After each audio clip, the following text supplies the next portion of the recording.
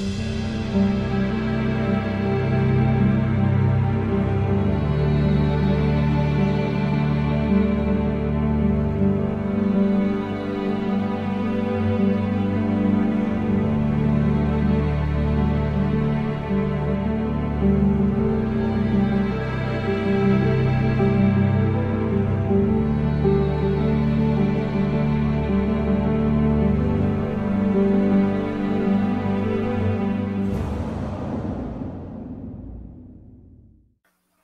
Prezados amigos, estimados irmãos que nos acompanham por ocasião da 23ª Conferência Estadual Espírita, promoção da Federação Espírita do Paraná, com a temática Mediunidade, o Sexto Sentido. De volta com o tema A Mediunidade sob a ótica espírita.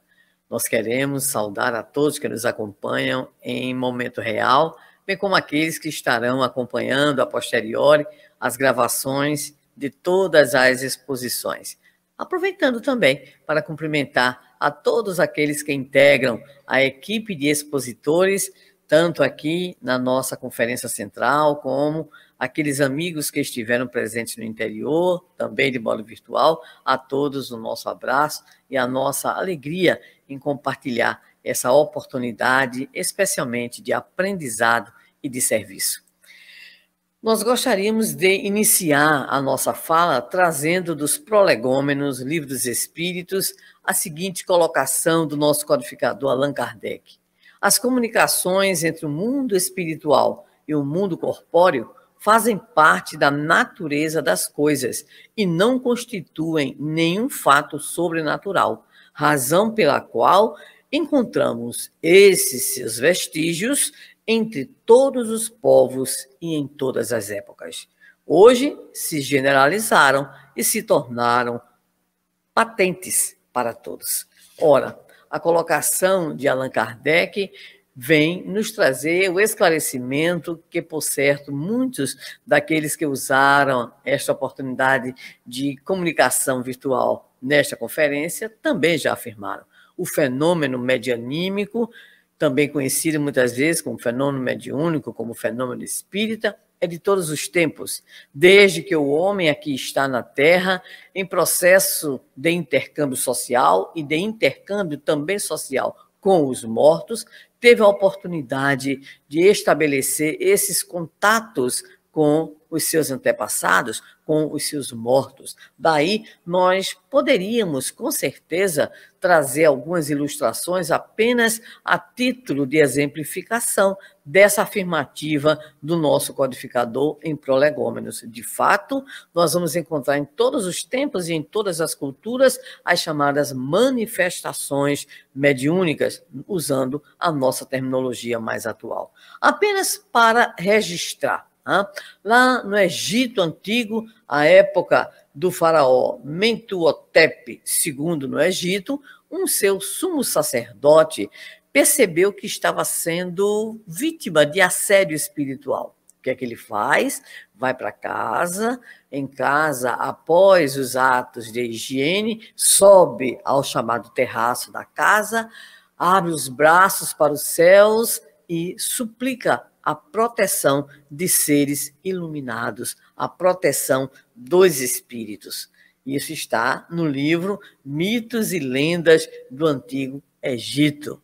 Então, nós vamos encontrar no Egito Antigo o livro dos mortos, com muitas narrativas, e é comum se dizer entre historiadores, paleontólogos, estudiosos do Egito Antigo, que os sacerdotes, eles tinham realmente muitas dessas possibilidades de práticas e utilizavam essas mesmas práticas, inclusive no formato lastimável de controle né, daquelas pessoas, do povão de modo especial, embora eles mesmos tivessem as chamadas é, iniciações privadas, né, para os especiais, para os continuadores e assim por diante.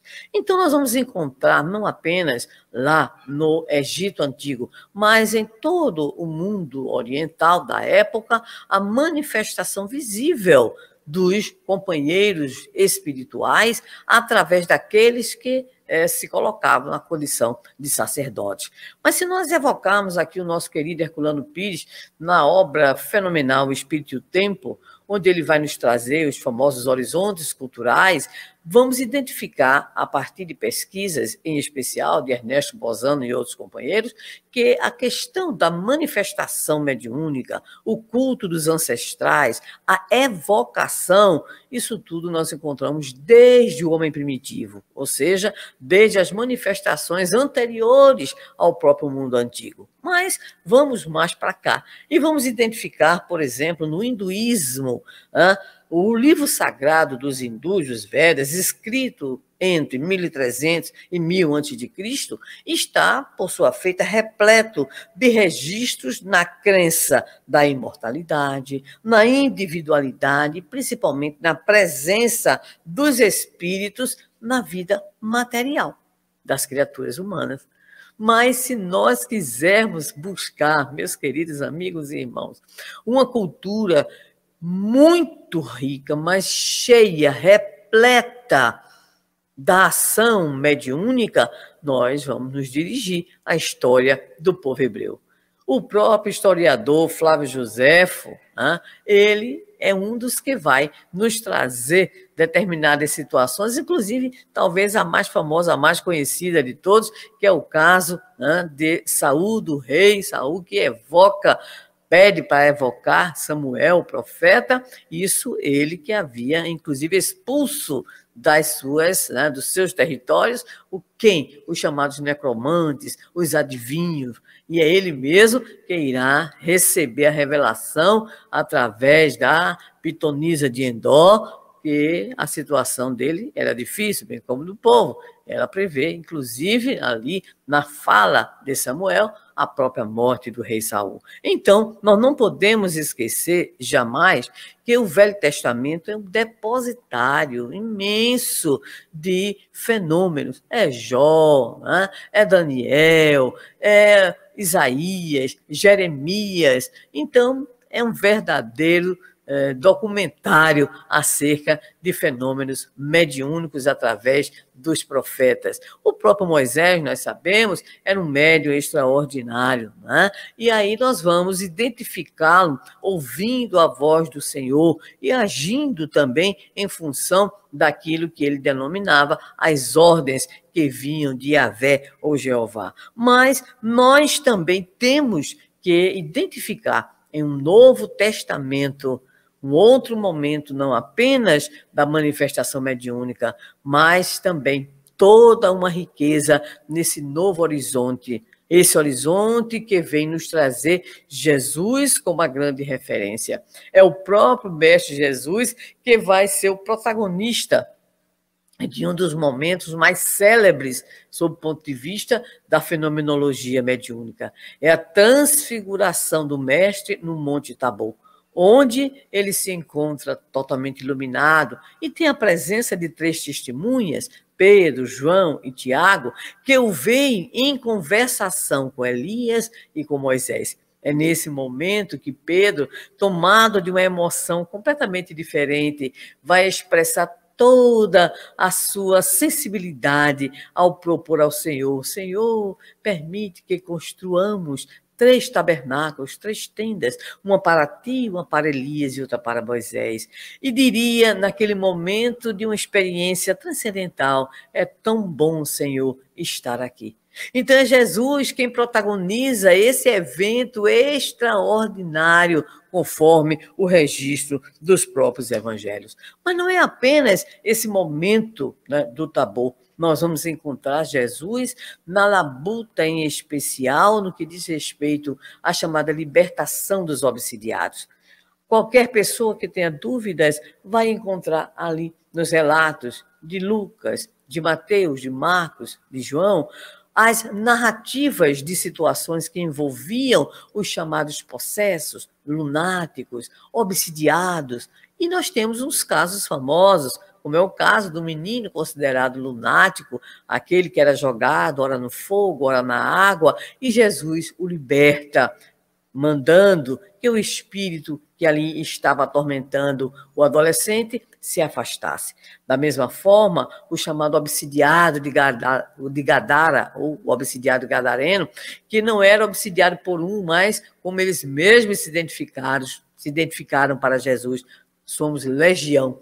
E sem falar nos casos específicos em que Jesus atua no processo, então, de libertação dos processos obsessivos. Lembramos também que não é só um mestre, ele mesmo envia os seus discípulos, os 12, os 70, para o desenvolvimento de ações de propagação da Boa Nova, de atividades vinculadas à prática mediúnica da cura, mas também da própria libertação dos casos de obsessão. Então, se nós temos, inclusive no próprio Evangelho, todo esse conjunto de manifestações, em que Jesus é o protagonista, em que inúmeros dos seus discípulos estarão atuando, e na continuidade também aqueles que seriam os arautos da Boa Nova, também demonstrando ah, a faculdade mediúnica em ação a serviço do próximo, como negar então a evidência de que estes fenômenos eles estão presentes na história e representam a grande base do fenômeno religioso. Quando nós nos deparamos com Paulo, aquele a quem Emmanuel chama de um médio inesquecível, nós vamos não apenas vê-lo naquela estrada de Damasco, ali, naquele momento, sol a pino, meio-dia, conforme Emmanuel nos apresenta, ele vê e ouve a Jesus. Mas nós vamos encontrar o Paulo que cura, nós vamos encontrar o Paulo repleto de intuições, de inspirações e orientando, inclusive, como ele mesmo vai apresentar nas suas cartas, ele demonstrando toda a sua compreensão acerca da intervenção do plano espiritual, nas falas, nas organizações das assembleias, mas também identificava a presença dos chamados perturbadores, daí sempre a sua voz de alerta, sempre a sua voz pedindo dos irmãos o quê? Uma atitude ah, coerente com o evangelho, vigilância, oração, conversações edificantes, bons propósitos, a fim de que a obra, de fato, da Boa Nova e sua divulgação pudesse ali estar consolidada, em especial em todo o trabalho daqueles que são os seguidores, aqueles que se dizem verdadeiramente cristãos. Então, são casos inúmeros que nós vamos encontrar né, no próprio Paulo, e vamos também encontrar um pouquinho mais adiante, no primeiro século, no segundo século e até no quinto século depois de Cristo, nós vamos encontrar inúmeros dos grandes nomes vinculados ao surgimento né, do, de institucional até, né, da igreja, nós vamos encontrar alguns companheiros, alguns irmãos geniais, como, por exemplo, nós vamos encontrar a figura de Tertuliano, a figura de São João Crisóstomo, em que algumas interpretações vão acontecer de modo interessante. Por exemplo, para eh, os antigos, e o próprio Flávio José considerava, aqueles que eram chamados de demônios nada mais seriam do que espíritos, as almas, né, os espíritos de homens perversos, ou seja, mortos mas que, quando em vida, tinham exatamente vivenciado a maldade, a perseguição, o ódio, e ao passarem para o outro lado da vida, permaneciam e atuavam junto às criaturas. Só um tempo depois, como já dissemos, no século V depois de Cristo, com o próprio Tertuliano e depois Crisóstomo dá a, o sacramento em relação a isso, demônios passa a ser compreendida essa expressão como chamados anjos decaídos. Ora, nós sabemos perfeitamente que Deus que nos criou a todos, simples e ignorantes,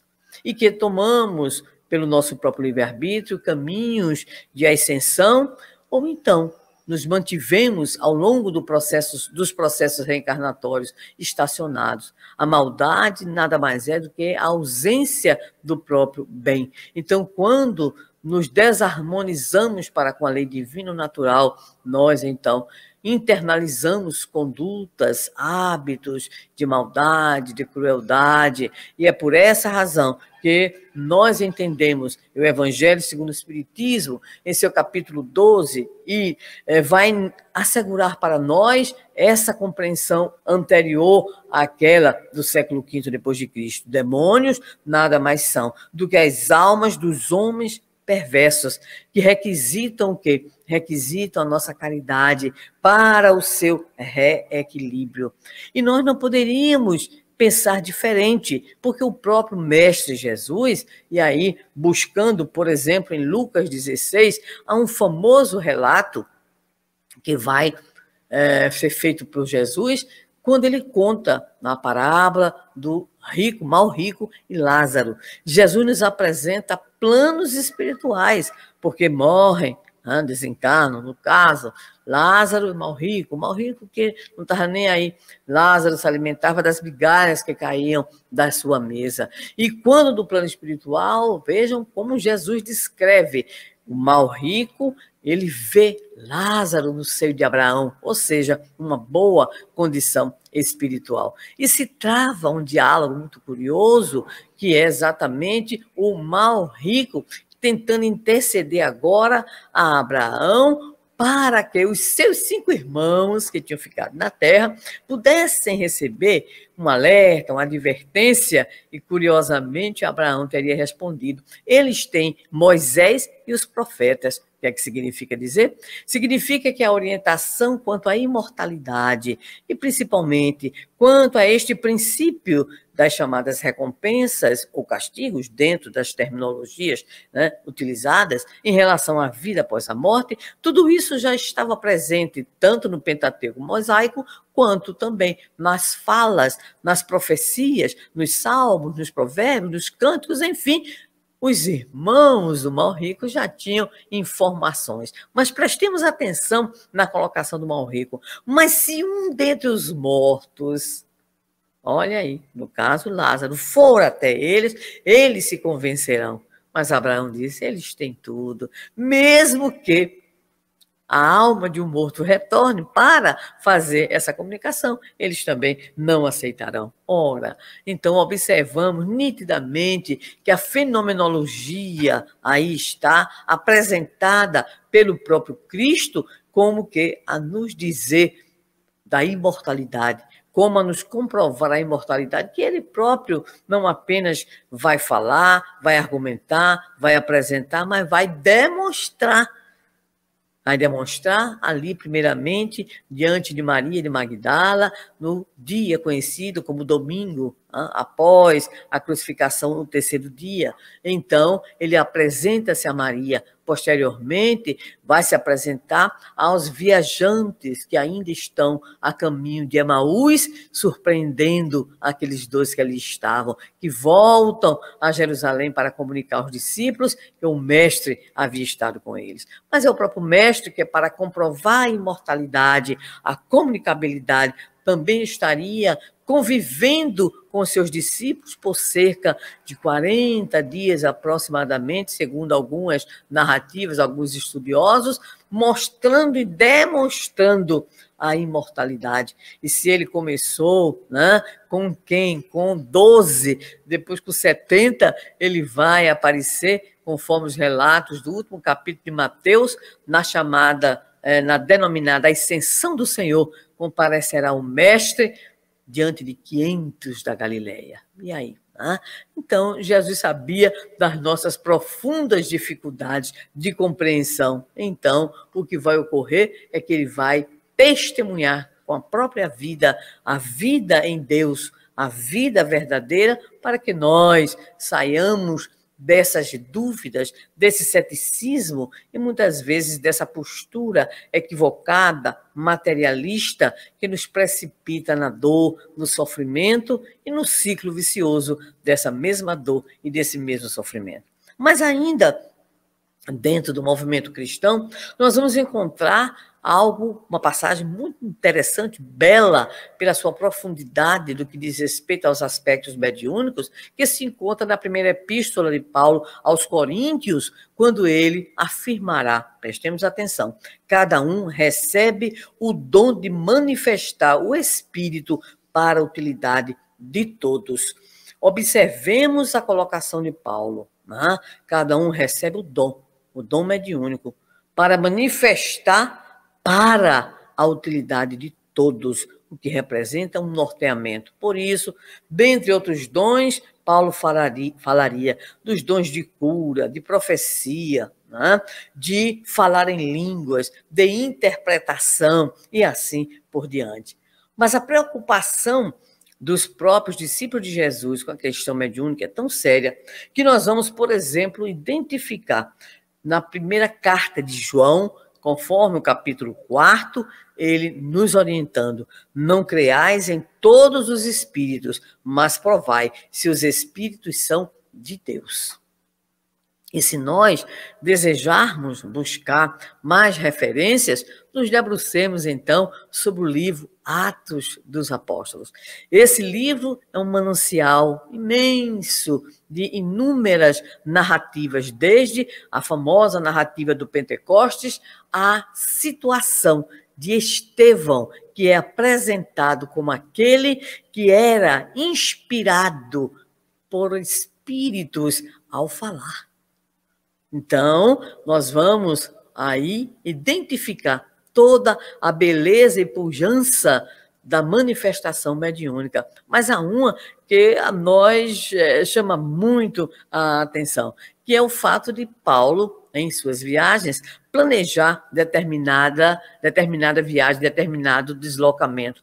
E aparece a ele um espírito que é identificado como um espírito procedente da Macedônia, e pede a Paulo: vem para a Macedônia e ajuda-nos. Vejamos bem que a atuação até esse momento de Paulo se dá naquela região, mas é ali, com aquela aparição do jovem na Macedônia, que Paulo então né, desvia, vamos dizer assim, o seu planejamento para atender aquela aparição e se dirigiria a Filipos, que é exatamente a primeira assembleia, igreja, núcleo cristão da Europa.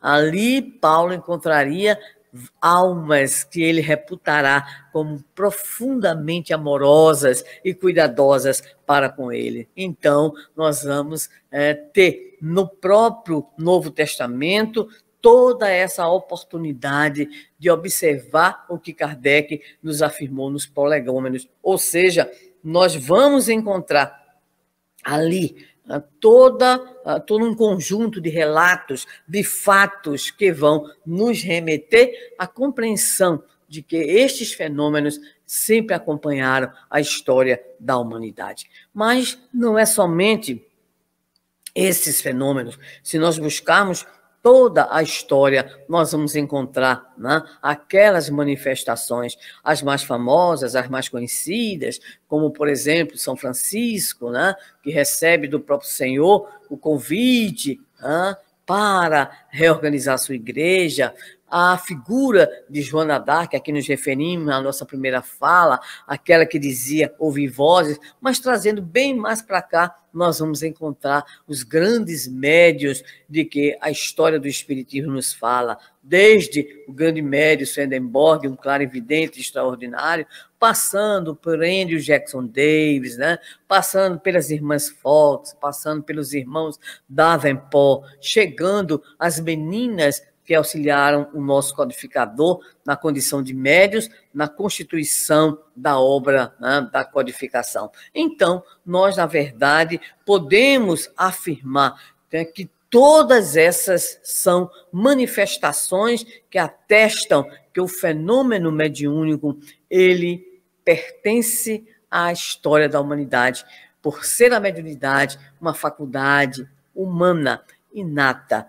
A sua utilização, a sua aplicação, claro, depende muito das condições morais do médio, Por isso, na nossa primeira intervenção nesta conferência, abordamos o tema Grandes Vidas, Grandes Médios, Grandes Médios, com base nos itens 196 e 197 de O Livro dos Médios. No entanto, nos importa, nesse exato momento, indagar como é, então, que a doutrina espírita, ela que pertence a um outro horizonte, a um outro momento, ela vai se debruçar sobre o fenômeno mediúnico. Né?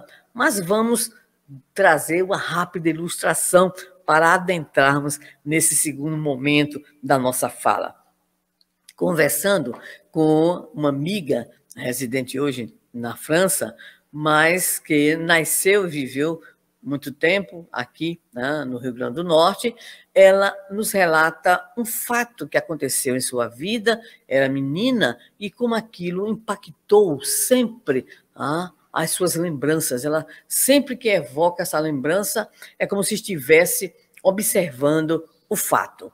O fato diz respeito as manifestações mediúnicas que existiam naquele momento na sua cidade, na região metropolitana uh, de Natal, mas que se deram especificamente com uma colega de sua irmã. Uma menina estudiosa, uma menina muito inteligente, enfim, com tudo aquilo que a gente diria, tudo pela frente, né? com um futuro é, maravilhoso pela frente. Mas acontece que a família se vinculava a determinada concepção religiosa, que tinha um olhar diferenciado em relação aos chamados fenômenos. E quando a adolescente, certa feita, entrou de fato naquele processo de profunda perturbação espiritual, foi então a, a interpretação dada que se tratava do demônio. E essa criatura, essa de aproximadamente 13, 14 anos de idade, é arrancada de casa em uma camisa de força. E este fato trouxe para minha amiga um impacto muito grande, porque ela disse, posteriormente, quando ela retorna à chamada convivência, entre aspas, normal, nunca mais seria a mesma pessoa. Quando ela nos relatava essa vivência, outro companheiro também da mesma cidade disse-nos que era muito comum naquela cidade que os chamados obsidiados, né, os endemoniados, fossem amarrados. Isso na década de 50, 60 do século XX. A doutrina espírita já tinha, então, quase 100 anos né, de existência. Mas o tratamento dado a essas criaturas portadoras da mediunidade era exatamente esse. Tratamento de endemoniado, tratamento de desajustado, desequilibrado, doente mental e qualquer que seja aí a denominação. Muitos deles, então, sofrendo, inclusive, ah, algumas ações fortes, como serem amarrados, colocados em camisa de força e assim por diante. Mas Alguém pode pensar, isso faz muito tempo, não tem mais. Tem. Tem ainda hoje. E conversando com uma pessoa que recentemente está cursando o curso técnico em enfermagem, ela sabendo que sou espírita e nós possuímos uma relação de amizade e carinho, veio nos dizer algo muito interessante, que passando pelo estágio ah, no hospital psiquiátrico, o professor ah, disse assim, vocês verão aqui, com todos os cuidados, com tudo aquilo que os estágios exigem, vocês verão muitos quadros dolorosos. Mas eu digo a vocês, não sou espírita, mas quando comecei a trabalhar com o chamado paciente psiquiátrico, necessitei estudar espiritismo. E hoje eu posso dizer, talvez não todos, mas a grande maioria desses que aqui estão não são, de fato, doentes portadores de distúrbios psiquiátricos. Muitos são aquilo que os espíritas chamam portadores de sensibilidade ou de mediunidade. E ela veio conversar comigo, me falando né, sobre o que ele tinha dito. Isso, estamos em 2021, isso foi dito em 2019. Então, nós já conseguimos perceber que há por parte de pessoas mais sensíveis, estudiosas, curiosas, interessadas no bem-estar, em especial na saúde mental, já há muitas pessoas, muitos estudiosos e até mesmo muitos profissionais dessa área que começam a perceber que existe, de fato, na criatura humana algo mais do que os cinco sentidos tão famosos e tão apurados que nós estudamos nos nossos bancos escolares. Então, não somos apenas ah, tato, visão, audição, olfato, gustação, nós, paladar, né? Nós temos um pouquinho mais. E nós temos para o nosso codificador, Allan Kardec, uma faculdade nata, conforme dissemos, de origem orgânica, que se agrega no organismo da criatura reencarnada. Mas, segundo ele mesmo, nos foi otorgada por Deus nosso Pai, para que esse senso de intercâmbio e de possibilidade de percepção do mundo espiritual pudesse sempre nos trazer o quê? A ideia, e não só a ideia, mas a certeza da própria imortalidade da alma. Então, sem dúvida alguma, mesmo com tantos e tantos anos passados, a doutrina espírita ainda precisa ser muito mais estudada, divulgada, para que situações como essas possam receber uma leitura bem menos grosseira, ignorante em relação a pessoas que, na verdade, estão em processos de eclosão mediúnica violenta, ou em processos de perseguição espiritual, ou em processos de obsessão. Quanto mais nós pudermos divulgar vamos dizer assim, de modo correto, a doutrina espírita, quanto mais núcleos espíritas possam receber?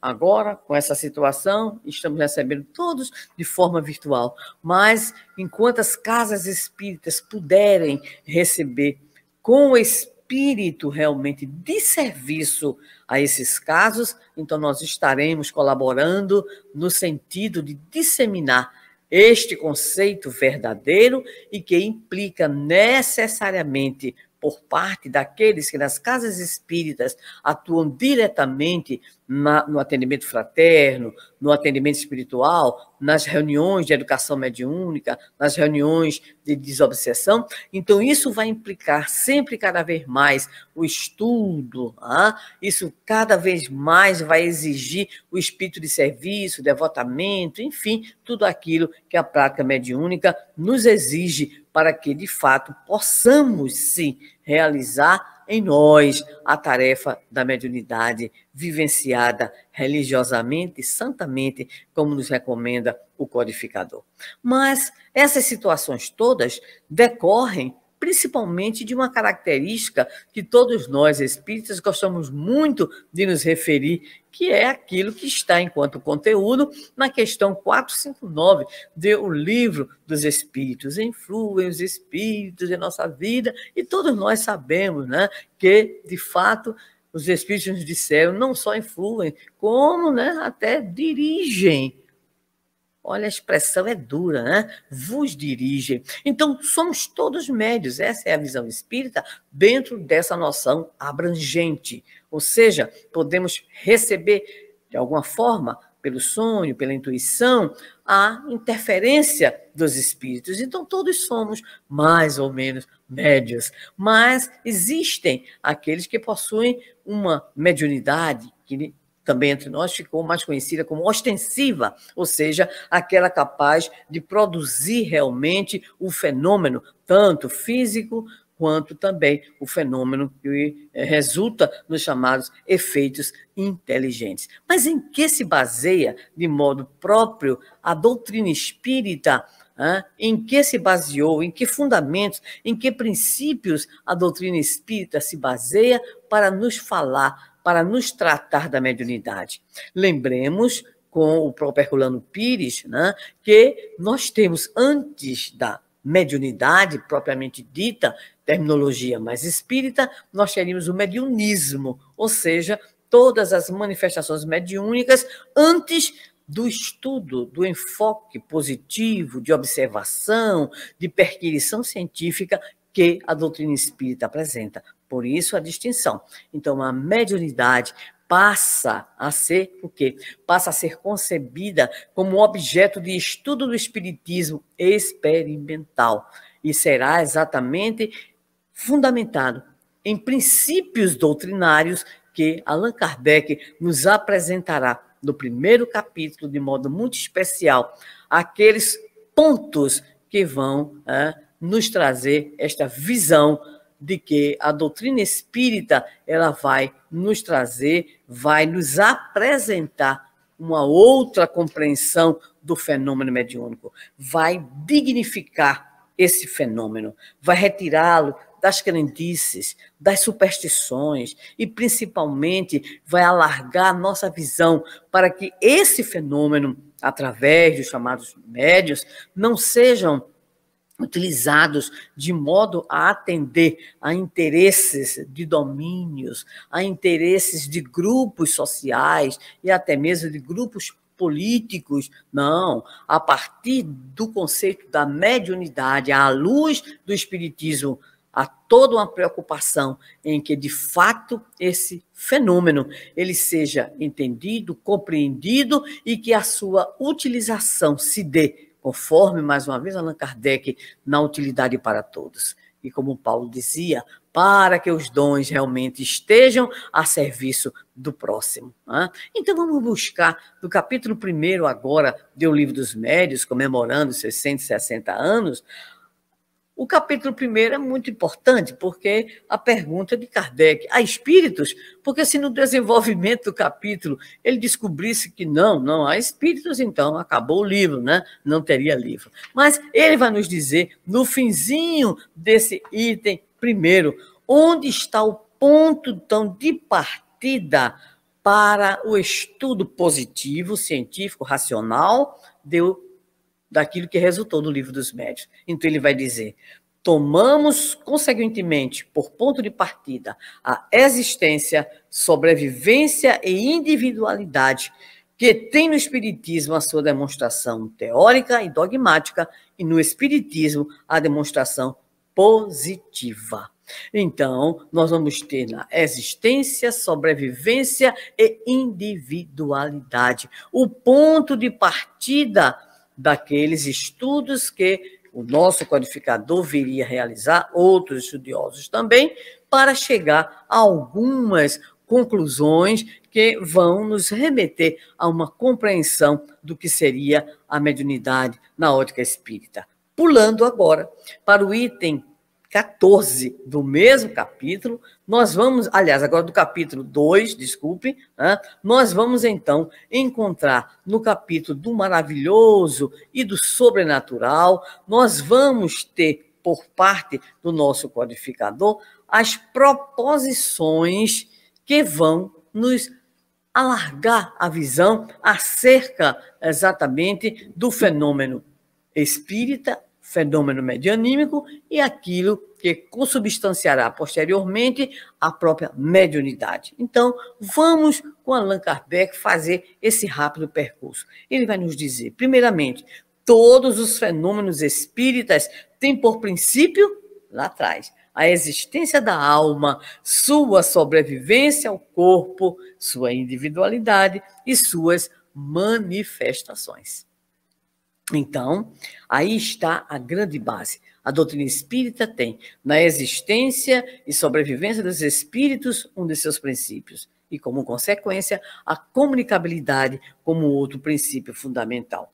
Ele continua nos dizendo: fundando-se numa lei da natureza, esses fenômenos nada têm de maravilhosos nem de sobrenaturais no sentido vulgar dessas palavras. E isso nos faz lembrar ah, o Peixotinho, sobre o qual falamos na nossa fala anterior.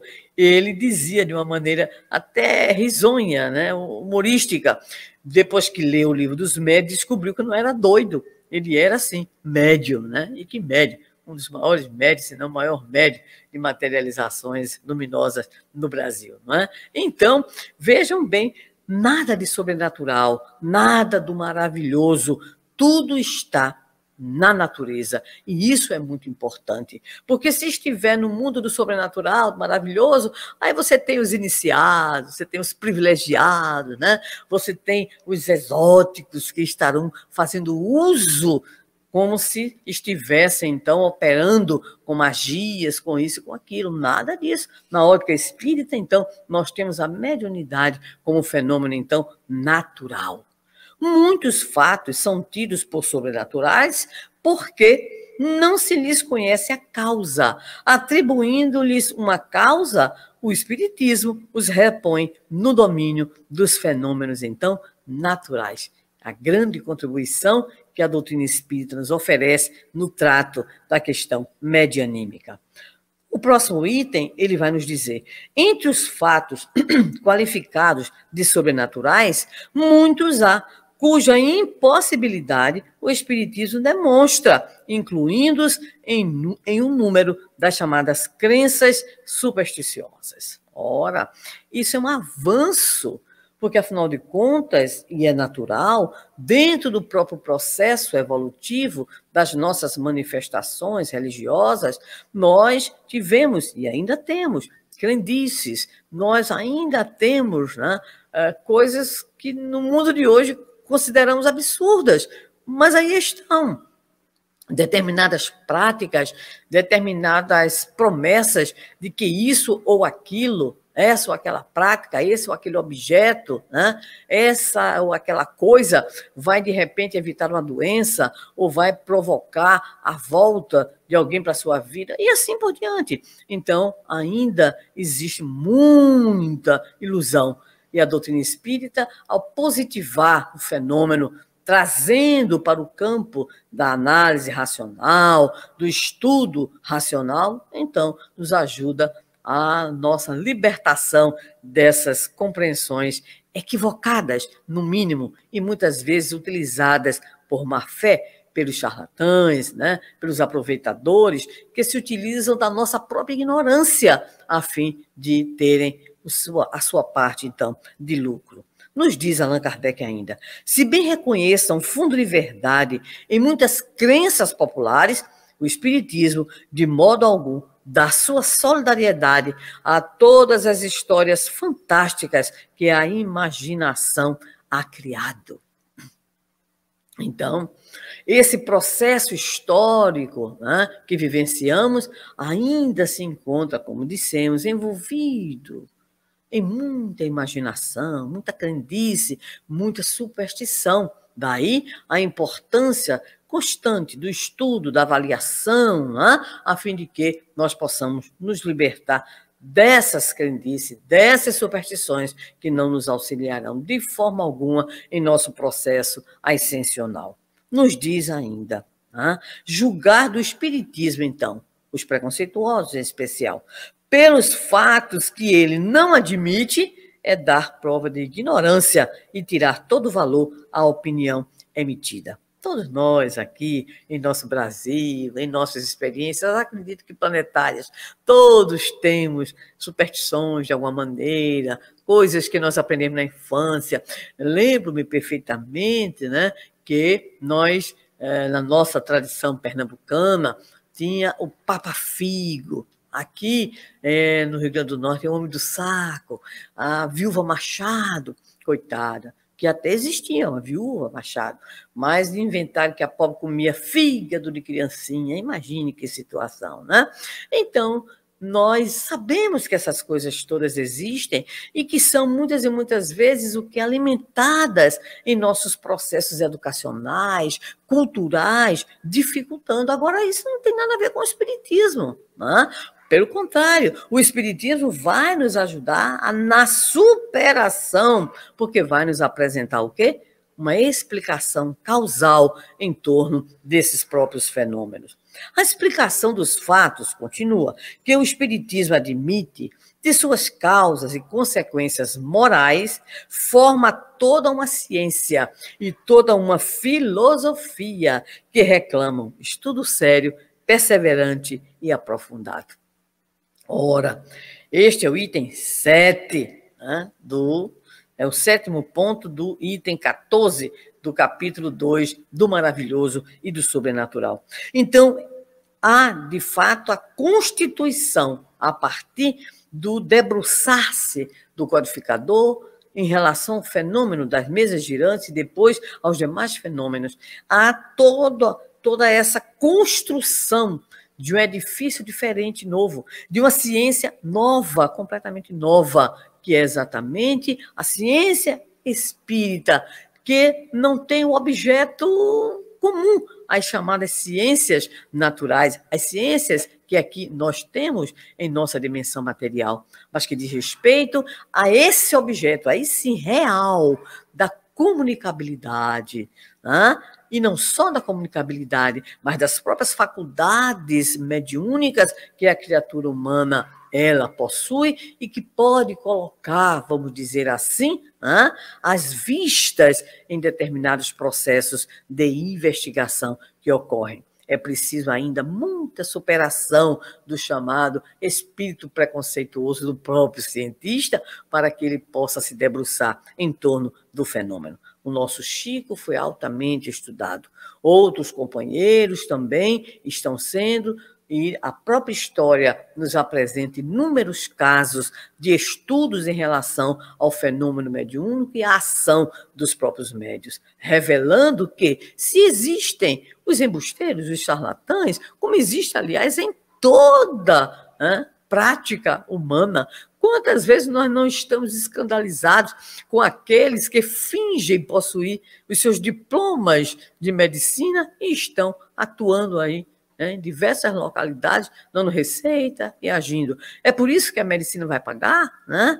Aí o erro da medicina? Não. Então é sempre necessário termos este bom senso de não invalidar, de não generalizar. O Espiritismo não pode considerar crítico sério senão aquele que tudo tenha visto, estudado e aprofundado, com a paciência e a perseverança de um observador consciencioso, que do assunto saiba tanto quanto qualquer adepto instruído, que haja, por conseguinte, aurido seus conhecimentos augures, que não nos romances da ciência, aquele a quem não se possa opor fato algum que lhe seja desconhecido nenhum argumento de que já não tenha cogitado e cuja refutação faça, não por mera negação, mas por meio de outros argumentos mais peremptórios, aquele finalmente que possa indicar para os fatos averiguados causa mais lógica do que a que lhes aponta o Espiritismo. Tal crítico ainda está por aparecer.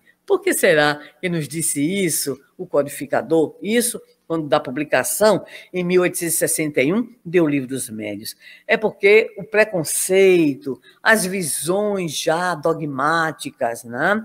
em especial o ceticismo, as negações que o próprio materialismo ele vai proporcionando às criaturas que não conseguem ver, né? não conseguem entender a existência, a sobrevivência após a morte do corpo físico, da alma, o espírito. Então, tudo isso vai gerando o que nós denominamos um espírito de negação, um ceticismo muito grande. E esse ceticismo interfere, claro, sem dúvida alguma, né, na, no ânimo da pesquisa, no ânimo, então, daqueles que deveriam sim se candidatarem a quê? ao estudo sério, profundo, sistemático do próprio fenômeno mediúnico. Bem, o livro dos médios é exatamente para nós esse guia extraordinário para o conhecimento não apenas dos médios e dos evocadores, mas para que todos possamos ter uma orientação, uma compreensão acerca do fenômeno mediúnico para que não nos iludamos, para que não tenhamos uma atitude ingênua hein, diante, em especial, de determinados fatos que as pessoas vêm nos colocar, de situações que muitas vezes nós temos que enfrentar. Então, é imprescindível a todos nós essa dedicação pelo menos um bom tempo, né, com uma certa assiduidade ao chamado estudo de O Livro dos Médios. Nós podemos trazer ainda algumas consequências né, que são muito importantes quando nós começamos a buscar uma compreensão da mediunidade à luz do Espiritismo. Começamos agora no processo de síntese para irmos né, finalizando as nossas colocações, nós começamos primeiramente a entender que os fenômenos são produzidos por inteligências extracorpóreas, a que damos o nome de espíritos.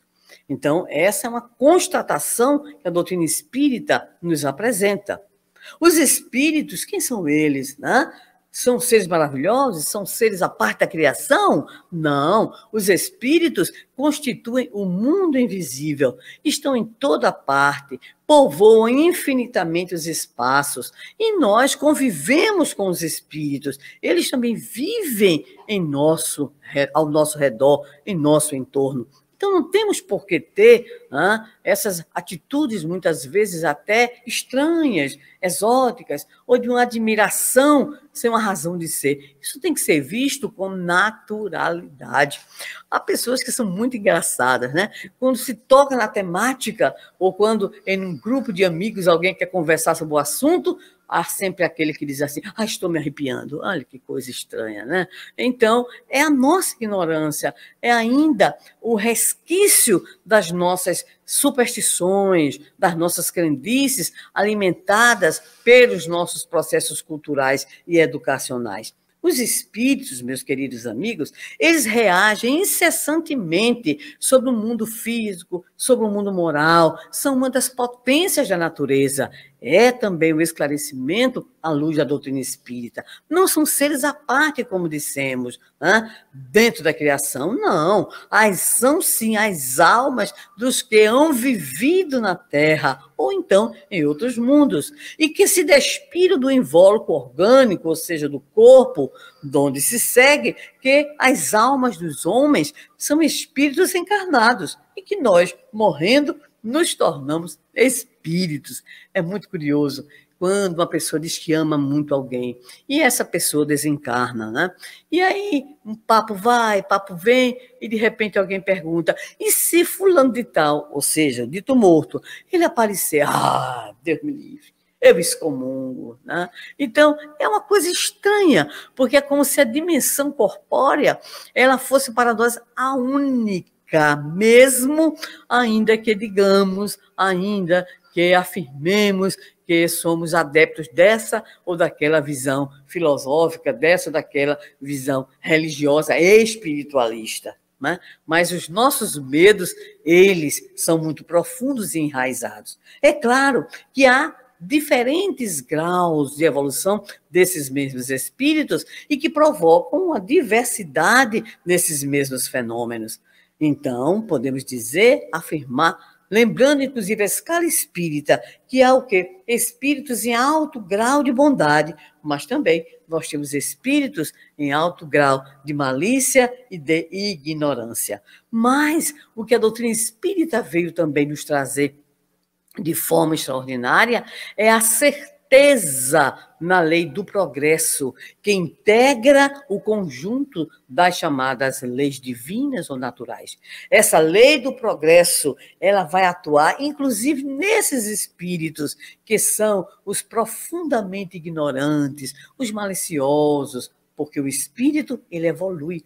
A lei do progresso está para todos que fomos criados simples e ignorantes, aqueles que se desviaram, aqueles que estacionaram, porque ninguém retroage, nem o espírito retrograda, mas aquele que se mantém em especial ali, renitente, rebelde, com a opção, entre aspas, ali para ele, definitiva do mal, nada disso. A lei do progresso existirá. Então, os espíritos se apresentam ou ignorantes ou bondosos, felizes ou infelizes, a depender do bem, do mal que praticaram e de acordo de conformidade com o grau de adiantamento que alcançaram. E a noção de felicidade para eles também tem a ver com toda essa sua condição, com todo esse histórico de vivência do bem, de vivência do mal. Daí nós vamos encontrar os casos tão pertinentes, muitas vezes, em sua explicação aparente, mas tão necessitados da intervenção da amorosidade, como nos casos graves das chamadas obsessões, onde aquele que obsidia, aquele que perturba, aquele que persegue, faz uma espécie de recorte da situação e não busca as raízes profundas da sua própria dor e de seu próprio sofrimento. Então, esses espíritos que muitas vezes atuam e que muitas e muitas vezes levam os próprios companheiros encarnados, irmãos encarnados, a situações lastimáveis, esses também receberão a atuação da lei do progresso a fim de demandarem com seu próprio esforço novas experiências.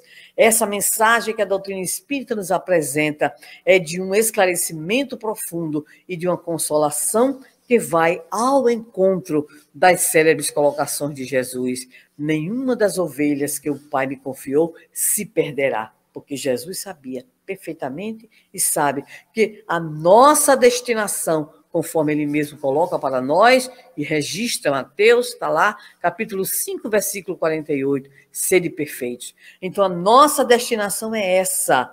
Então, mesmo que vivamos essas situações de dificuldades, que ao olhar a vida, em especial nos dias de hoje, ao abrirmos muitas vezes os nossos celulares em busca de algumas informações, somos impactados com manchetes que nos traz o sentimento de horror diante do que estamos vendo nos dias de hoje. É a madrugada que antecede a alvorada que já virá do mundo de regeneração. Mas, por enquanto, nós estamos vivenciando essas experiências redentoras, na certeza de que há uma comunhão nossa com esses espíritos dentro de um mergulho profundo em processos, então, seletivos pelos quais estamos passando. Nesse momento, o médio em especial é alguém convidado, conforme as palavras de exortação do codificador e de inúmeras mensagens. O médio, como aquele que é o intermediário entre o plano maior da vida, se ele for um bom médio, né? E nós, ao médio está destinada a grande tarefa do esclarecimento, da consolação. Por essa razão, nós os vemos aí espalhados em toda parte, em todas as idades, né? em todas as nações. Por isso mesmo, queridos amigos, estimados irmãos, o livro dos médios representa então para nós o maior compêndio sobre esses aspectos em especiais da mediunidade. Kardec é o maior pesquisador, é o grande dialogador com o mundo espiritual para nos trazer, então, todo esse conjunto de informações. Esse ensino, conforme está lá na folha de rosto, né? ensino especial dos espíritos sobre a teoria de todos os gêneros de manifestações, os meios de comunicação com o mundo invisível, o desenvolvimento da mediunidade, as dificuldades e os tropeços que se podem encontrar na prática do espiritismo. Tudo isso é o que o Livro dos Médios nos proporciona. Então, nosso convite, o convite da 23ª Conferência Estadual Espírita é para que nós, vocês, os ouvintes, os que nos acompanham, os que nos acompanharão, todos possamos ter essa preocupação de nos debruçarmos sobre esse espiritismo experimental e encontrarmos em um livro dos médios o caminho seguro, conforme a palestra da nossa Xará, né? um meio seguro para que nós possamos lidar na superação né? das crendices e das superstições, para que tenhamos um olhar positivo, racional, científico diante do fenômeno, mas que principalmente possamos na nossa condição de criaturas humanas, que somos todas mais ou menos médios, entender como podemos colaborar com os bons pensamentos, com uma sintonia positiva, com o estabelecimento de sintonias com espíritos né, avançados, espíritos nobres, para que assim nós possamos, de alguma maneira, vivenciarmos a experiência do transcendente em nossas vidas, realizando o melhor de nós. O nosso desejo para todos aqueles que estão acompanhando a 23ª conferência é de que sigamos adiante confiantes.